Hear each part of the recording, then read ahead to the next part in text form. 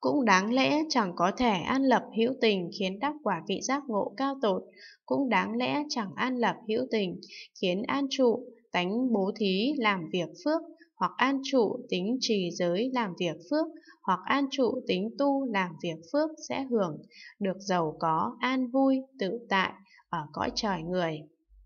Phật dạy, này thiện hiện, đúng vậy, đúng vậy, đúng như lời ông nói, tất cả Pháp chẳng phải hữu tướng, chẳng phải vô tướng, chẳng phải nhất tướng, chẳng phải dị tướng. Nếu Đại Bồ Tát biết tất cả Pháp hoặc hữu tướng, hoặc vô tướng, hoặc nhất tướng, hoặc dị tướng, đều đồng một tướng thì đó là vô tướng. Tu vô tướng này là tu bát nhã ba la mật đa.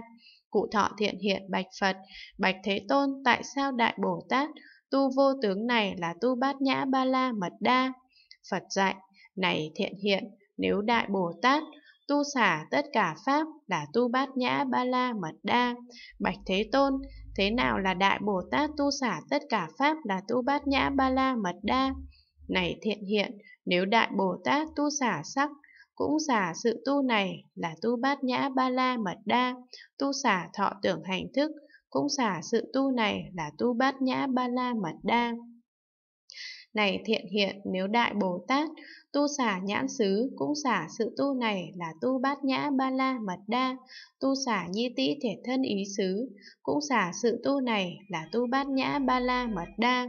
Này thiện hiện, nếu Đại Bồ Tát tu xả sắc xứ, cũng xả sự tu này là tu bát nhã ba la mật đa, tu xả thanh hương vị xúc pháp xứ, cũng xả sự tu này là tu bát nhã ba la mật đa. Này thiện hiện, nếu Đại Bồ Tát tu xả nhãn giới, cũng xả sự tu này là tu bát nhã ba la mật đa, tu xả nhĩ tĩ thể thân ý giới, cũng xả sự tu này là tu bát nhã ba la mật đa.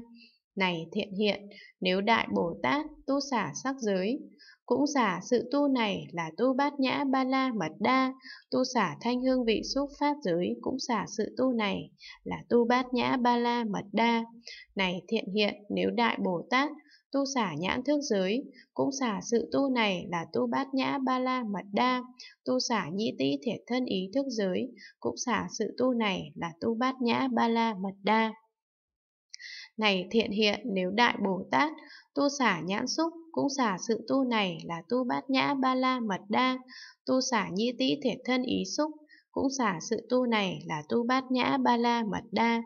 Này thiện hiện, nếu Đại Bồ Tát tu xả các thọ do nhãn xúc đảm duyên sanh ra, cũng xả sự tu này là tu bát nhã ba la mật đa, tu xả các thọ do nhĩ tĩ thể thân ý xúc làm duyên sanh ra, cũng xả sự tu này là tu bát nhã ba la mật đa.